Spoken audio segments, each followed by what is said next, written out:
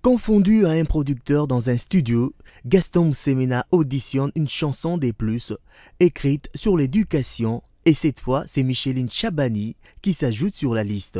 Tous à l'école Étudier, c'est un investissement durable. À travers sa chanson Tous à l'école, cet artiste très connu du public dans la musique chrétienne stimule les parents à envoyer leurs enfants à l'école, une manière pour Micheline Chabani de contribuer dans les sous-secteurs de l'éducation. Le Seigneur nous a mis à cœur de composer une chanson euh, qui concerne l'école, le retour des enfants à l'école et surtout la conscience des parents et les, des autorités pour l'école. Satisfait de cette initiative, le ministre de l'EPSP a promis à l'auteur-compositeur de contribuer aux frais qui consistent à la réalisation du clip. On est venu voir le ministre pour nous accompagner à cette vision.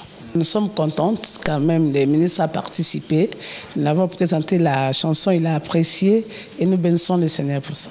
Juste après, Micheline Chabani est allée visiter les installations d'Educ TV, la nouvelle chaîne thématique de l'éducation mise en place par le ministre de l'EPSP. Bénissons l'Éternel en tout ce qui s'est fait, félicitons l'excellence pour le travail. Nous ne sommes pas restés seulement à l'église, l'éducation aussi nous concerne l'avenir de nos enfants. Nous sommes parents et nous sommes l'Église et l'Église doit marcher de pair avec, euh, avec l'éducation. Nous encourageons, nous sommes là, prêts à donner notre main, à accompagner les, ministères pour, euh, pour une meilleure euh, éducation pour notre pays. Un tel apport dans le secteur éducatif ne pouvait que réjouir l'artiste qui a promis son accompagnement.